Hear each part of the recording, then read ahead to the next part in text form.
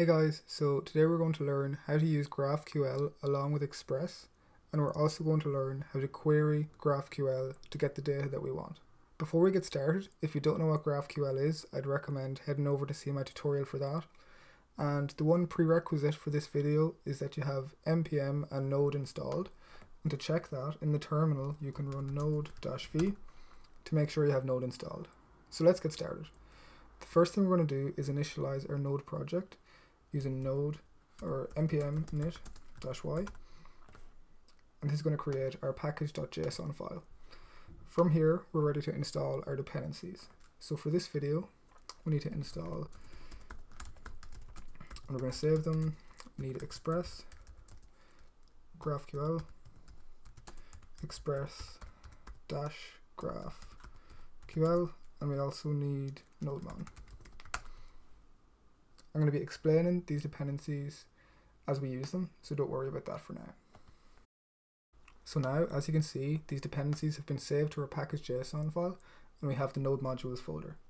The next thing we want to do is change this script instead of test. We want to call it dev, and we want this to run nodemon server.js. If you haven't used nodemon before, it's basically a tool in Node.js that you can use. Uh, so this file will automatically, uh, the server will automatically stop and start whenever changes are made to this file. So on that, we can create that file by saying touch server.js and then we can run npm run dev. And this will run this server file uh, if it's spelled correctly. Server.js if I run that again uh, I also need to save my package.json file so now it will work and we're ready to get started so inside our server.js file, we're going to require our dependencies. So first of all, we need express. And then we need express GraphQL. Uh, note the upper, uppercase QL and G. Um, and this is coming from express dash graph GraphQL. And now we're going to initialize our app using Express. Just Express.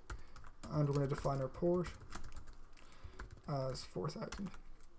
So now we can say app.listen on the port and we're going to provide a callback function which is going to just print out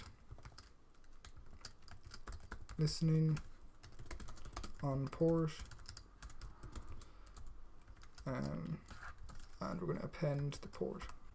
So if we save that, we can see that our files have been saved and our server is hot reloading using NodeMon. So this is exactly what we wanted.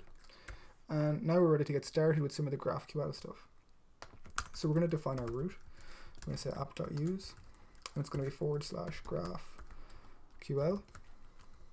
And whenever someone visits this use, this route. it's going to use express GraphQL. And we're going to pass in GraphiQL as true. And this is just a user interface that we can use. Um, and we're first of all just going to say that schema is an empty object but we're going to need to create that to use this property. But for now to test um, we're just going to make sure this is all working. We're going to open Chrome. And if we go to localhost port 4000 forward slash graphiql uh, we're going to see this and we can see that we expected this empty object to be a GraphQL schema, but everything else is working for us, um, and we know we have our setup correct apart from this one schema thing. So this is what you should see. Um, and now we need to create this schema. So we're going to stop our server, and we're going to create this schema um, by saying touch schema.js, and then inside this server file, we're going to say const schema equals require uh, forward slash schema. And now we're going to pass this in instead of the empty object as schema. And we can start our server again. And we're going to start writing our schema here. So before we can actually start writing our schema, we need to import some things that we installed earlier. So all of these variables are going to be coming from GraphQL, which we've installed. Um, and the variables, there's quite a big list of them. The first one is GraphQL object type. And then we're going to import GraphQL string, uh, GraphQL int, GraphQL schema, and the case of these is important, so take note. Um, if something isn't working for you, it's possibly that the cases here um, that you've used are incorrect. We also need GraphQL list, um, and we need GraphQL not null, non-null, and we also need GraphQL boolean. Cool. So that's all of our imports. Um, next, we're going to go to the bottom of the file and define our exports. So we just have one export,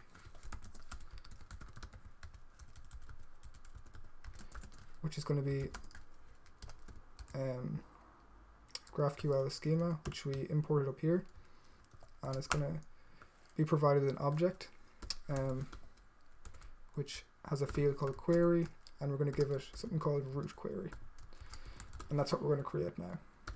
So to create this root query, we're going to say const root query equals new GraphQL object type, which takes a parameter of an object again. And the first field we need to give it is a name, and we're just going to say root query type because this is the type um, of our query. Um, and now we need to provide it with some fields. And this is when we start actually defining our schema. So for this tutorial, we're going to use books. So we're going to pretend that this is like a library and our API is going to return information about books. So the first field we're going to give is books and the type of this field is going to be a new GraphQL list um, and the type of this list is going to be a book type which we haven't created yet um, so we're going to create that now. So const book type equals new GraphQL object type. And again we have to pass in an object. And the first thing we're going to give it is a name which is just going to be book. And then we need to give it fields. And this time the fields are going to be like properties of books. So for this example, our books are going to have an ID, which is of type GraphQL int.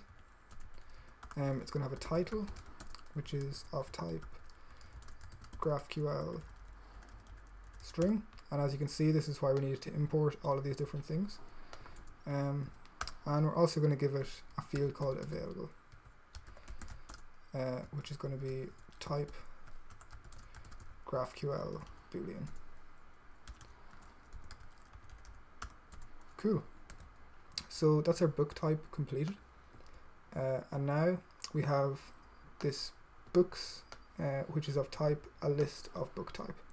So now that we have the fields completed, uh, sorry, the type completed, um, we also need to give it a resolver function.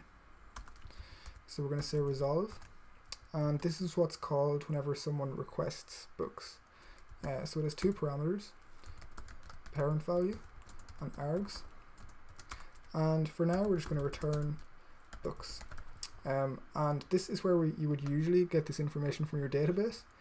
But for the sake of this video, we're just going to create this locally in memory. I'm going to say const books equals an array of objects. Um, and the first object is just going to be a book with an ID of 0, a title of Moby Dick, and available is going to be true. So if we save on that, we can see that whenever someone requests books, uh, we're going to resolve it with this array that we've created locally. But as I said, normally you'd be getting this information from your database, but this video is just about GraphQL, so that's what we're going to do.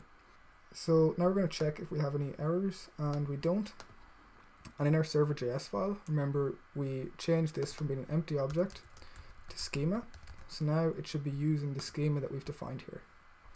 So going back to the browser, if I hit refresh, you can see that we now have this information over here. It's saying that we have a query, root query type, and we can see it as a field of books. So over here, we can actually write this query.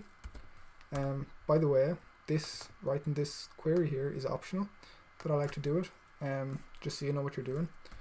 And we're writing a query for books. And for now, we just want to get the title of the books. So if we run this query, you can see this is going to get the title of all the books in that array. Um, but if we want to see if it's available too, we can also add this in. And this is why GraphQL is so powerful. We can just get the data that we want. So if we go back to our array and we add another book with an ID of 1, a title of Harry Potter, and available is true. If we hit save um, and go back to the browser and run this query again, you can see now we're getting the information about both books. And if we don't want the availability, we can take that out, hit run, and we're just going to get exactly what we want. So this is why GraphQL is so cool. So we've wrote this query to get all the books, but what if we just want to get information about an individual book? So we need to define a new field, and this field is just going to be book. Going to have a type of book type. So this time it's not going to be a list of books, it's just going to be a singular book type. But now we have to define args, because if the user wants information about an individual book, they need to provide arguments to define what book they want the information about. So we're going to allow them to pass in an ID, which is of type GraphQL int. And now we can use this inside our resolver. So again, we're defining a resolve function, and it takes a parameter of parent value and args. And this time we're going to be using this args parameter. So we're going to return books.find. Um, and this takes a callback function, which is we're going to pass in b, and we're going to return whenever book.id equals args.id. You could do all this in a for loop and just check whenever the ID of the book is the same as the ID provided in the argument. But I like keeping all this to one line, it just makes it much cleaner. So now if I hit save, and we can see that there's no errors, we can go back to the browser, and now we can provide an argument here, and change this just to singular book, give it an ID, so we're going to look whenever the ID is 0, I'm actually going to need to refresh the page because it didn't get our changes. Um, but now you can see I'm just getting information about this singular book. And if I pass in ID of 1, it'll give us the title of the other book. And again, I can pass in different things that we need and it will return those. So another cool thing with GraphQL is that we can actually write multiple queries inside the same request. So I don't know why you'd want to do this, but in this single request, we're going to get information about book with an ID of 1, and we're also going to get all of the book's titles. So if we run this query, you can see that this is what the information we get back looks like. So at the minute, we have set up our API so users can read information about books and also get information about individual books. Um, but if we want to get the full CRUD functionality, create, read, update and delete, we need to use something that isn't queries um, in GraphQL, it's called a mutation, where we're actually changing information, we're not reading it. So in the next video, we're going to go over how to write and how to use mutations in GraphQL. Thanks for watching, hope this helped you out, and I'll see you next time.